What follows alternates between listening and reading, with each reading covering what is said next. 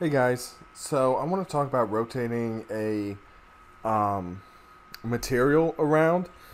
Um, I'm going to show it in this sample model, but this little pick here, um, I think visually really shows, you know, um, what I'm talking about. And I'm sure um, if you've dealt with materials before, you, you may have um, seen this problem where you know you bring it in and apply it on whatever surface and you you know the um, threads or whatever are kind of going or the grain uh, of the wood or or the material is just going the the um, wrong direction. Um, you know, for this example, it would be nice if it would go vertically, um, so that it aligns with uh, this piece down here, and it looks correct and it's actually really easy. So when I show you, um, I'm to show it on just one plane, but keep this in mind. Like um, this this um, um family here was actually uh, so this there there's a plane here and then there's a plane here, and that material kind of knows it, and so you can rotate these planes you know separately, and they're not going to interfere with one another. So keep that in mind when you're rotating these. Um, so that um, you know you just know that you don't um, you know have to rotate one um, and it's going to affect the other one. You know that you can rotate both to make sure that they're both aligned and look correct. So uh, I'm going to go ahead and minimize this and we'll take a look at kind of that process within um, Revit. So I have the 2019 um, architectural advanced sample project and you can get that by visiting autodesk site um, or you can get it from your def default install. So just either way um, if you want to follow along you can you can do it um, you can open that model or you can go ahead and just open up a new model draw maybe a wall or a floor and just um, uh, starts because we'll go we'll what we'll do later is we'll actually add bring in a new image that will rotate by kind of doing this process. So um, you know you could do that with with just a, a plain floor regardless you know what model it is. So uh, in this view we can see that the um, panels kind of go this way on this uh, floor here. And or they go they go kind of go horizontal um, and we want them to go vertically. So up and down, we want them um, face that way. You know, whatever the reason is, we just want them that way.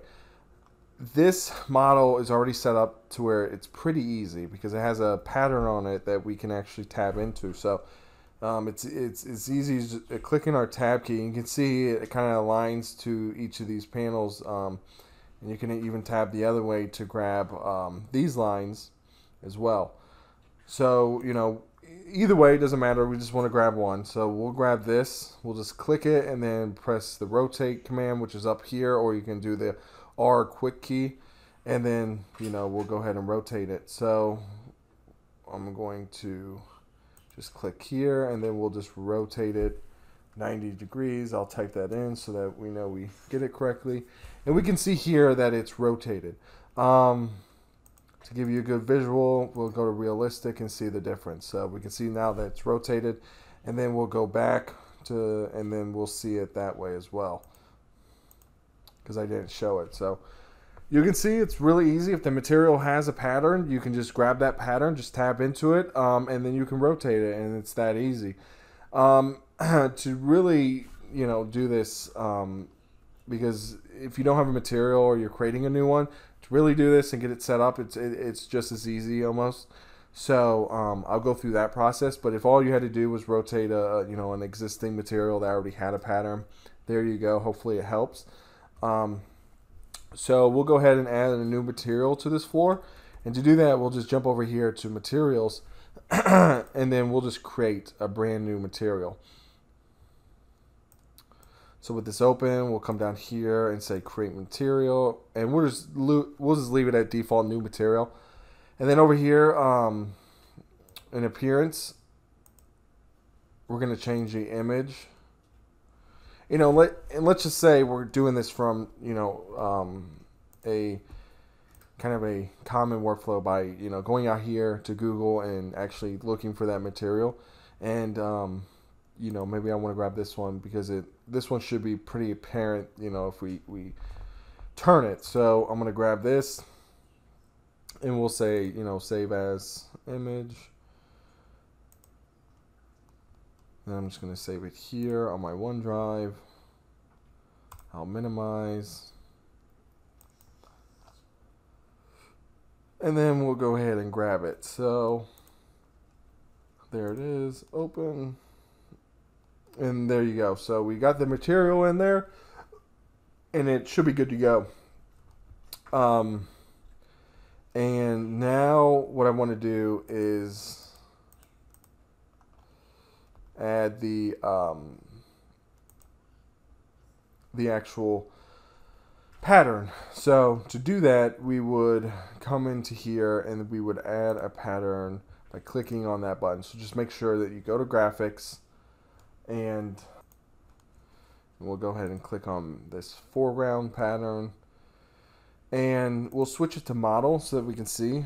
Um, and actually tab into it. If we if we stick it to drafting, we won't be able to actually uh, tab into that um, uh, pattern and actually rotate it. So we'll go to model and you can grab any of these. Um, you may want to scale them or change them around because one cool thing too is like sometimes I'll bring in an image maybe a, of a site or something or even a um, analysis or a lighting analysis. I could bring it in you know, uh, to scale and align it to a floor, you can actually not just rotate these patterns, you can move them around, which is nice when you bring it in a analysis, uh, uh, you know, that then you can apply to a floor plan because sometimes it doesn't align correct, so you can kind of move them around to, to align them. And you may want to change the scales and stuff. So to do that, you would just create, or you would change the scale of the um, the pattern itself. Um, to do that, you would just you know come down here and say new fill. And I'll just leave it at new pattern name. And you just come down here and switch this to 90 degrees. And then you come up here and say cross hatch. And then you can come down here and say you know um, the line space in between one and two um, change it to whatever you want you know what you know, whatever makes sense press OK press OK again and now we have this pattern so we'll press OK. And what we'll do is we'll up pretty much update this floor. So we'll go we'll click into the floor, we'll go to edit type. Then we'll edit the structure and then we'll just jump into the material of the finish. So we'll click those three dots and then we'll just search new. Grab that, that new one we just created. We'll press OK. Press OK again. Then one more time. Now we kind of see our uh, new pattern. Um, it's not the best one, but it, it'll do the job. So we can see that right now the paneling is is verti vertical. So what we'll do um, after it loads is we'll rotate it so that it's horizontal. So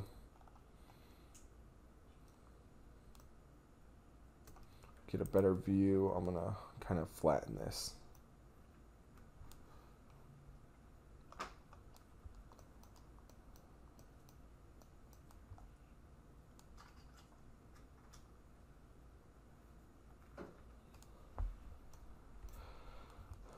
Okay, so um, all we got to do is switch it back to shaded. And then now we can see our um, pattern. And then we just tab into it. We can tab in it that way or that way. Um, again, you know, just to show you, uh, we can move it, so I can kind of move this around. It's not going to do much with this because this is kind of the same pattern. But if you brought in a, you know, for example, a um, you ran you ran a, a uh, lighting analysis and it gives you that kind of um, that uh, that the ground with some some of the you know different colors you can you know go to a floor plan export that out and then bring it in as an image and then place it on a floor and then you would want to move it around just to align it and then after that you could actually take it into Enscape or you know do a, pretty cool rendering with it so keep that in mind you can move them um, what we want to do with this one is rotate it. So we'll tab in there and then we'll press the R uh, quick keyboard shortcut command. At least that's mine. I'm not sure if that's everybody else's, but um, if not, you know, just go up there to um, modify, which, uh, and then click the uh, rotate command. So I'm going to put it the dot. Where's it? There it goes. So we just want to rotate this 90 degrees. So I'll type it in just to make sure that we actually get it there. Oops, we do not want to do that. So do make sure you tab into it. I'll do it again. Tab, rotate. I should have known that was it was going to do that because it was highlighting everything in blue. So type in 90, rotated. So we didn't see anything happen. Again, you know, it may make sense not to set these patterns as cross crosshatch. Uh, it all depends on what really what you're trying to do, but um, this isn't, you know, we're not trying to rotate it some complex rotation. We just want it 90 degrees. So we'll jump back into our model and see um, see it. So we can see now it's horizontal instead of vertical, uh, and it's that easy. So you know, if you're creating a new material, just go out there, Google the material, or, or however, you know, whatever the method is for getting a material, grab that material, bring it down, uh, apply it, uh, create a new one, um, add a pattern, and then, or, and then make sure it's a model um, type. And then when you um, are in a view, just tab into it, rotate, and then you could rotate your materials. So um, that's it. So hopefully this helps you out. It, it, did for me when I figured this out. Somebody else actually uh, showed me how to do this because um, I was working on a uh, Enscape model and it just didn't look right um, the way uh, the family looked. It was actually from that, that Word doc we were looking at, that image. Um, you know, that just didn't look right from the angle we were we were trying to capture, and we could see that, and it was really apparent that it, you know that wasn't correct. So hopefully uh, this helps you out. Um, let me know if you have any questions. Um, please comment if you do. Um, uh, like, share, subscribe. Thanks a lot for watching.